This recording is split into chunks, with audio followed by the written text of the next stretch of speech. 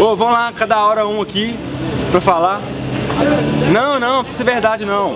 Vem e fala assim, ah, tô com saudade do Marcelo, o Marcelo foi importante, Marcelo ajudou a gente demais. Não, eu sei que não é verdade, mas vem só pra, pra falar, pra ele ficar feliz. Isso, aí vem cada hora um e tal, beleza? Então,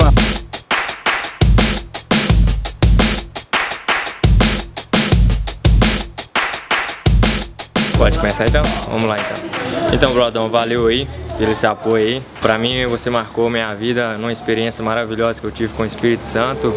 Foi no começo, quando você entrou, quando eu tinha 17 anos, lembro disso até hoje. Foi uma semana onde você chamou a turma toda para jejuar naquela semana para buscar o Espírito Santo e naquela semana ali na quinta-feira estava é, se encerrando a, a, semana e eu fui com tudo para receber o batismo no Espírito Santo e Deus te usando de uma forma tremenda. Naquela quinta-feira eu fiquei muito triste porque não fui batizado, mas graças a Deus é, no finalzinho ali o Senhor te usou para antecipar uma vigília na sexta-feira, logo em seguida. E graças a Deus, na sexta-feira, foi eu fui batizado com o Espírito Santo. Deus te usou naquela sexta-feira ali. Foi maravilhoso para minha vida. Foi uma experiência maravilhosa que vou sempre guardar. Valeu, Brodão.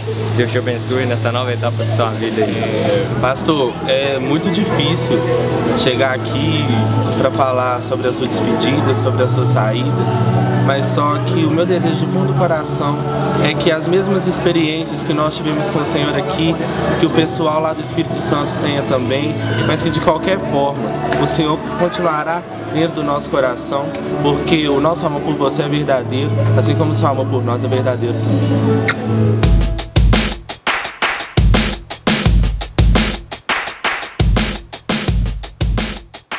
Brodão, com muita tristeza, que nesse momento eu venho falar pra você. Feliz por você, porque você, eu tenho certeza que você vai crescer muito na sua vida enquanto ministro, enquanto pastor. Eu sei que é uma oportunidade que você estava esperando há muito tempo, né?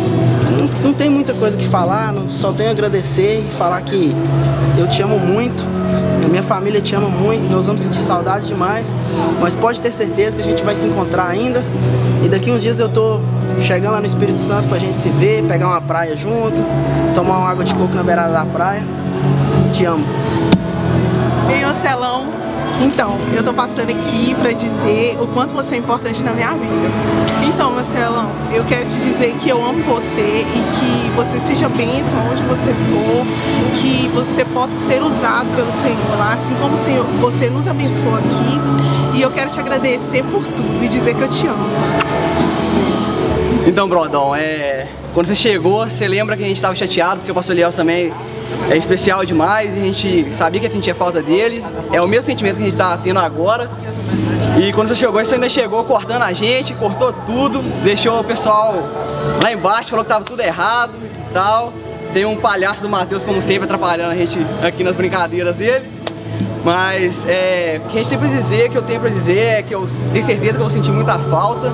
Quando você menos esperar, a gente vai aparecer lá para fazer uma visita e que Deus vai te abençoar muito do mesmo jeito que se, se eu fui abençoado aqui, eu tenho certeza e que abençoou a gente também. Mandar um grande beijo, um grande abraço e falar que eu te amo muito também. Falou, Brodão! Ó, oh, pastor Marcelo, é... gosto muito do senhor.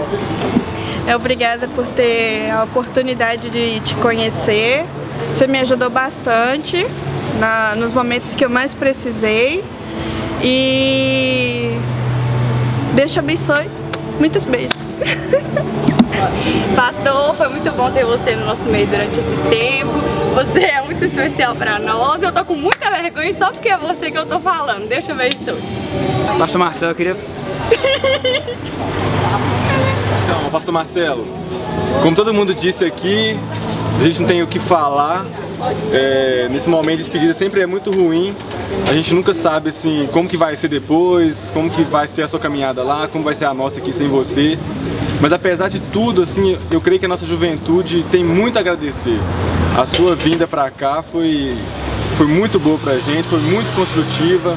A gente cresceu muito depois que o Senhor veio para cá, a gente desenvolveu muito. Todos nós aqui, como o Matheus falou, os dinossauros aqui da, da JUP.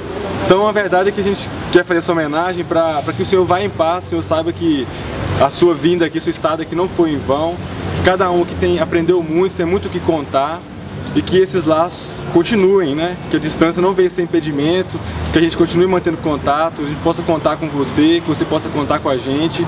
E é isso, que o Senhor abençoe você, a Mirinha, a sua família como um todo, o seu ministério, que você possa ser diferencial nessa nação que precisa de pastores realmente servos do Senhor. Deus te abençoe.